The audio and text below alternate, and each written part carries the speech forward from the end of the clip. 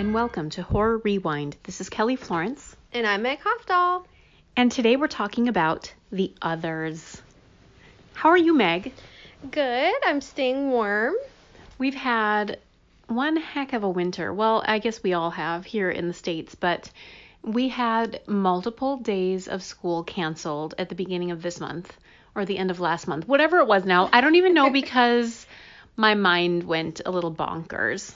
Yeah, I think we both went full Jack Torrance the last week um, that our kids were in school. But at least I knew that you were going through the same thing I was going through. Misery loves company.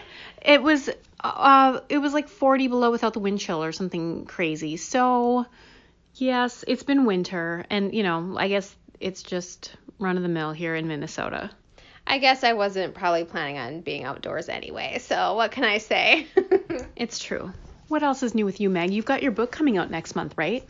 Yeah, um, for those of you that have read uh, the first in my Willoughby Chronicles, the Her Dark Inheritance, um, Daughters of Darkness, the sequel comes out. So I'm excited about that. It's kind of like this new sort of pressure of a sequel, um, which you know I guess is apropos in sort of the world of horror. I I can sort of understand what it might feel like to put a sequel out there and worry and wonder what people are thinking now that they have expectations. So, um, but I'm really excited, and um, so far I've heard good things about it. So, uh, yeah, it's going to be available March 30th. You know, something I was thinking about as you were talking, a lot of times movie sequels won't hold up, but I feel like book sequels always do or they exceed expectations. I don't know how do you feel about book sequels versus movie sequels? Yeah, that's a good point. I think that one of the the big differences is for movie sequels, I guess what happens when the first one does really well, then they fire that expensive director and they get, you know, cheaper people to make it, is what I've heard happens. And that's why a lot of the sequels are bad. And maybe that's why book sequels um, are a little different because it's the same creator and um, they feel like they have a lot to prove, I guess. So maybe maybe that's why. I don't know. But yeah, I see what you're saying. Um, I feel like a second book sometimes, especially like this book that I wrote, and there are many books like that. There, it's a second in like a third three part series, and that's like a really tough bridge to sort of do, but it's also really fun and exciting. So I'm I'm I'm excited about it. Well, yay. So, speaking of exciting things, we're talking about a movie that came out in 2001. I remember seeing it in the theater, and it's called The Others. Did you see it in the theater? Yeah, I think I remember seeing previews for it a lot because they kept playing them during Moulin Rouge. Um, because obviously the same star. And uh, we went and saw Moulin Rouge a couple times. Mm-hmm. So uh, I was able to see the trailer, and then it was like, well, we have to see that. So yeah, um, I remember actually seeing it more than once in the theater. So it came out in 2001. It's 84% fresh on Rotten Tomatoes. It's partially based on The Turn of the Screw by Henry James. And I remember reading that story in high school and just falling in love with it. How, did you have a Turn of the Screw um, awakening?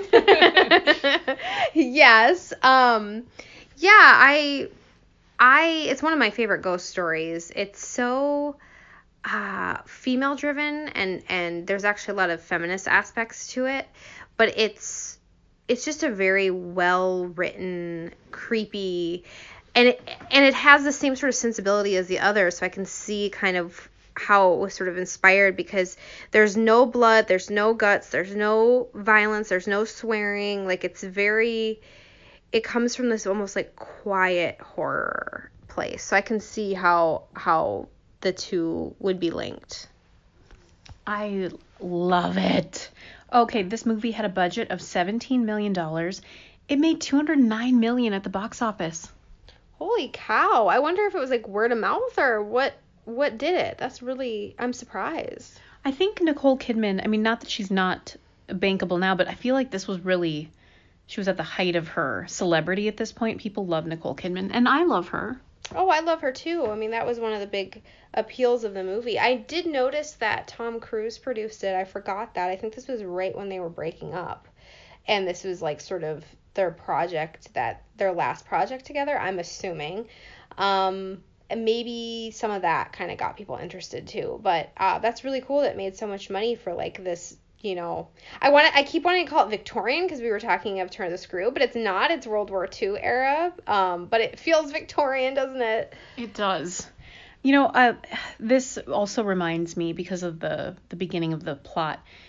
It's always fun to see how the rich live, but it's the servants who end up having the best stories, don't you think? Like the upstairs downstairs kind of thing. Ooh, like Downton Abbey. Like they get to spy on the. I, I always thought that what that would be like to be a rich person and to have like servants in your house all the time or vice versa to like be living in a rich person's house and be their servant. It's sort of a fascinating thing and it's kind of it's kind of interesting too because in down like Downton Abbey when it kind of starts getting later into the era and it's getting closer to World War II it was kind of like yeah this doesn't really the the world doesn't function like this anymore. So it's kind of cool to see it happening, even though you know it's not really the reality of most people's lives. Right. Uh, you know, and I was just rewatching Get Out yesterday because uh, I was showing it to one of my classes, and they, you know, that whole they they have servants, but you know, there's of course more to the story. But again, it just feels a little off. It's not it doesn't feel this century. Yeah, I mean, there's something. I, a lot of people have somebody maybe come clean their house every two weeks or something, but the idea of having like an actual servant in your house for like all day, every day, like yeah, it's it's kind of antiquated. And so yeah, this this movie, and I have to say like.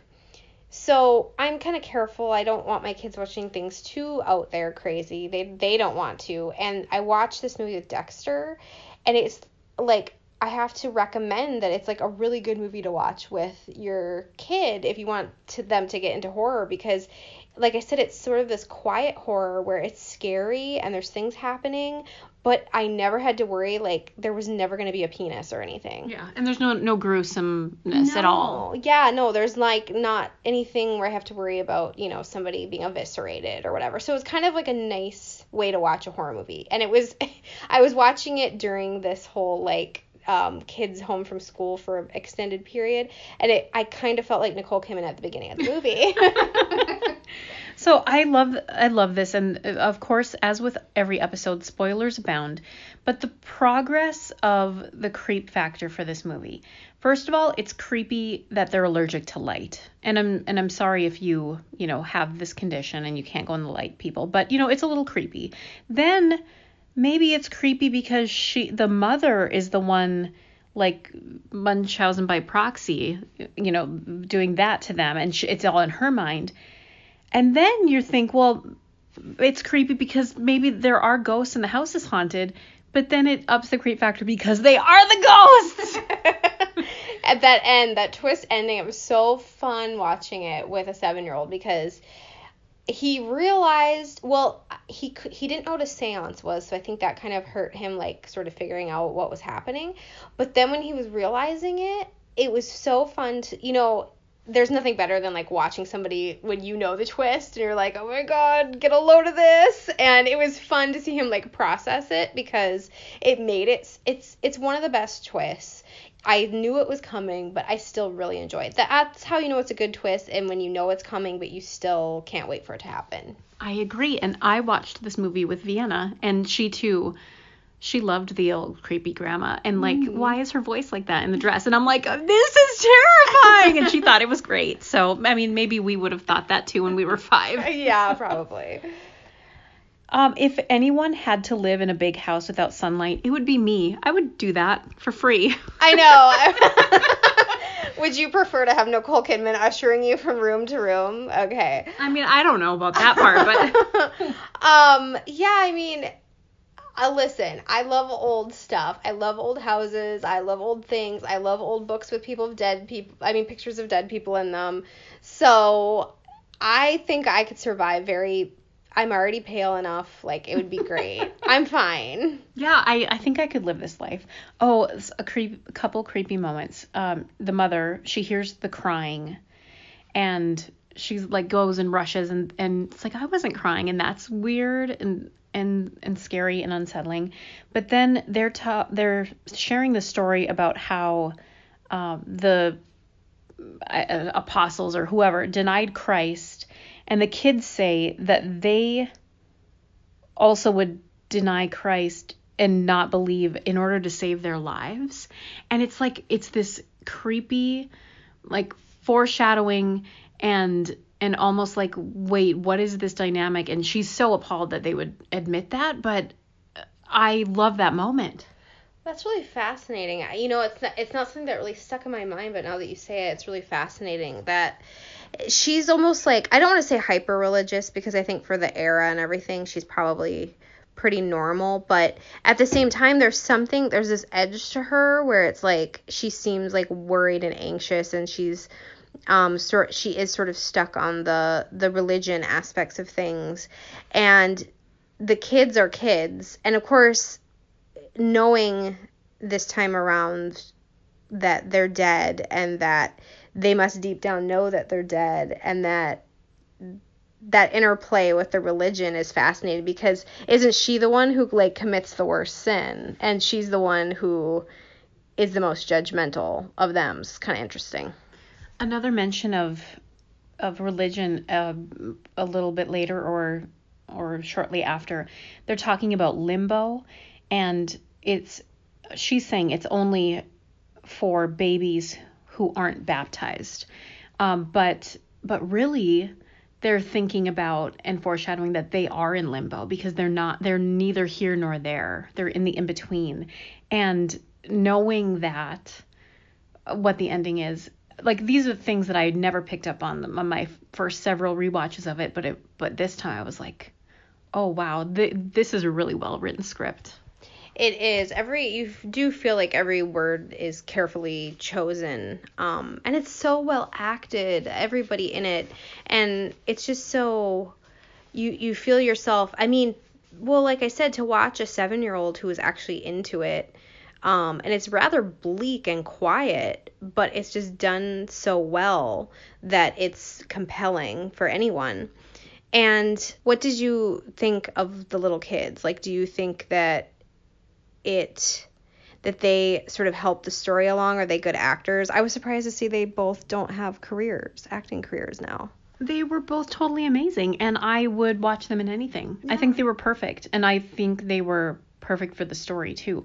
Um, oh, yeah, like you mentioned, they were looking at the pictures of the dead bodies. It's so creepy. And how they would take pictures of dead bodies, and they really used to do that. And the other thing, I know this is prevalent in some literature. You can bring it, you can tell us more about it, but the going mad theme. Uh, and women specifically not feeling like we're in control or feeling like we're about to break down you know being being just one moment away from losing it. And and men you know don't always necessarily get that whether in real life or in literature but but this women going mad thing and and being hysterical. Yeah i mean you know it, it there's this writer that i really love. Her name's kate morton and she writes um, almost all i think all of her books take place during world war ii and she really sort of explores what it's like to be a woman in that time because um, and rightfully so. We focus a lot on the war itself. Um, but when you think about, especially like in Europe and England, they were decimated. And I mean, there were women just left with children and estates and farms. And these were women that were never, a lot of them were never educated or never taught how to, you know, do any sort of trade um, and all of a sudden, and in, in America too, and all of a sudden, you know, there's that idea of Rosie the Riveter, but the reality is that a lot of these women um, were left without any sort of I don't know, real way to take care of themselves, and yet they had tons of children, they had other women to take care of. And, you know, obviously there's this idea that women are more emotionally uh, fragile than men, and that's something that has been perpetuated, you know, in time memoriam. In literature, I mean, I've talked about the yellow wallpaper before as being one of my favorite stories because it's really about, you know, this woman has this this postpartum depression and it's not being taken seriously. I know I didn't watch it, but I know there was recently I think it was Christina Ricci was in uh, the Nellie Bly story on Lifetime, and that's about women basically being put in sanatoriums because they cheated on their husband or because they didn't want to be married anymore. Um, so this idea that this movie sort of explores the idea of being a woman in this time it as difficult as it can be to be a woman today we have to remember what it might be like in 1945 England when your husband never comes home. It's just devastating and and wonderful this movie. Um, a couple creepy things that I love.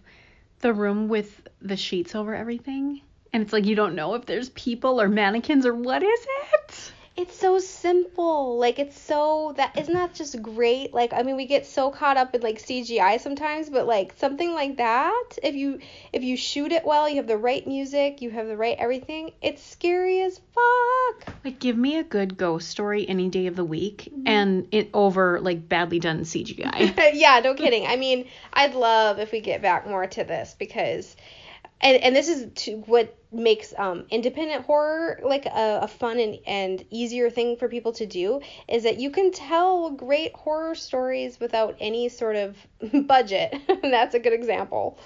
Another moment that is so powerful is when the kids wake up and they realize that the curtains are missing and they're freaking out because they think they're going to die. Yeah, they're screaming and at first I you almost are like, well, what? And then you're like, oh yeah, you know, you kind of have forgotten by that point. Um, and I do wonder. I mean, I've seen things about what it might be like to live with that disease, and and I guess that's one of the bonuses of being a ghost. You don't have to worry about that anymore. Um, I and I also like the idea that the sort of interplay of uh, you have to live with ghosts from different eras in the house. Like that's something I don't really know if I've ever seen before. I mean, I'm sure it's probably been in something, but it's kind of fun to think about. You know, Beetlejuice. You know, they're living in that house, but like, what it? What about the people before them and before them? So I don't know. It's it's sort of cool that they have to exist in this world together. It's just like the real world. Like you have to get along. I love when they find the picture of the the servants dead. Like they're the three of them lined up dead together.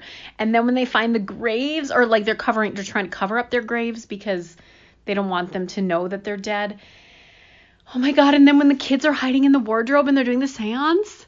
Yeah. oh that moment. And it's like i remember the first time seeing it like when you're you're trying to figure it out. And this is why i love horror so much because it it like forces you to like sort of face all these sort of realities and questions and like it just fucks with your mind in such a fun way. And this is such a great example where you just have that moment where you're like holy crap. I thought i went into this movie thinking one way and it's totally the other way. That's what makes horror so great.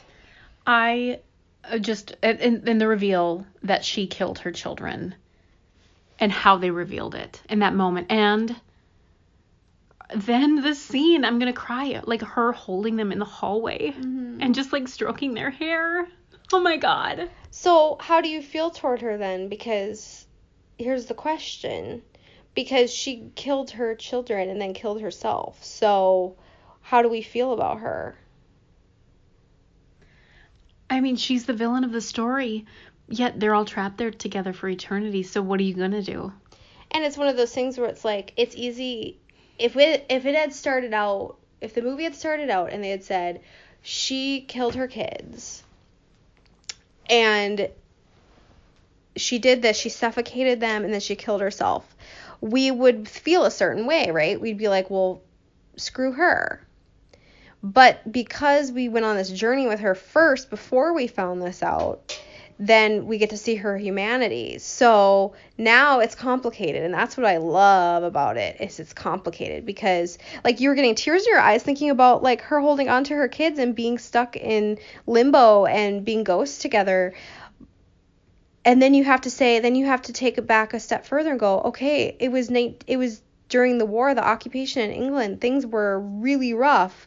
Do we blame a woman for doing that? And then we step back further and we go, well, yeah, she killed her kids. I mean, she could have done anything, but did she have, you know, access to mental health care and all those sorts of things? So it's like all these questions about what it is to be a woman, and it's easy to just be like, well, she's a murderess, she murdered her children. But what a great way to sort of lay everything out and make us question again, like f- fuck with our minds. And I think, you know, what you know it's a good movie or a good story or a good TV show when it gets you thinking and talking and feeling things that maybe you don't even want to feel. If it's just like, oh yeah, cut and dry, I can walk away from it at the end of the day and know how I feel about it. But instead, I'm so conflicted and I love it. Yeah, I was telling you I rewatched Hereditary the other day and I was telling you like I kept feeling physical reactions to it not just fear that was one of them but also others. And that and this movie does the same thing where i actually like felt a physical reaction several times. And i think you know like some people like to go on roller coasters and i hate it but the a good horror movie the when it can make you feel like the thrill that's what i'm looking for. Oh i agree. I freaking love this movie and how appropriate that we're talking about it during Women in Horror Month because it's such a female driven story and I mean it's just top notch. So read horror books by and about women and watch horror movies by and about women. Right? Yes. so let's let's rank this movie unless there's anything else you want to say first. Let's rank this movie on a scale of 0 to 10. 0 being you hated it, 10 being it's a perfect movie. We need a scale. Should we use photos of dead bodies? Yeah, I think dead Victorian babies. Because it was the babies that were the worst, the kids. Oh, I have to put in this little side note here. Vienna the other day was like, I don't like the dead baby toilet paper. And I'm like, what? And she's talking about Angel Soft because it has a baby that's an angel on the package. I mean, angels are dead. Isn't that crazy? Yeah, that's that's really funny. Her mind went there. She's like, I don't like that dead baby toilet paper. And it is not as good as the stuff we usually buy, which is Charmin. So send me some toilet paper, Charmin. dead I'm gonna call it that. Every every time I see anything angel, it's gonna be dead. Like dead baby, yeah. dead person. I love it. Like dead Cupid, you yeah. know, for Valentine's Day last week. Okay, so dead Victorian babies. Um, a scale of zero to ten. How many do you give the others? I'm gonna give it nine dead Victorian babies because it was great. I loved it, I, and I got to watch it with Dexter, which was fun. It held my interest. Um, it's just a well written and performed movie. I love it. I'm giving it 10 out of 10. I think it's perfect. I wouldn't change a thing. I think it's so amazing. It holds up. And if you have not watched it in a long time, give it a rewatch. You will not be disappointed. Until next time, we'll see you in the horror section.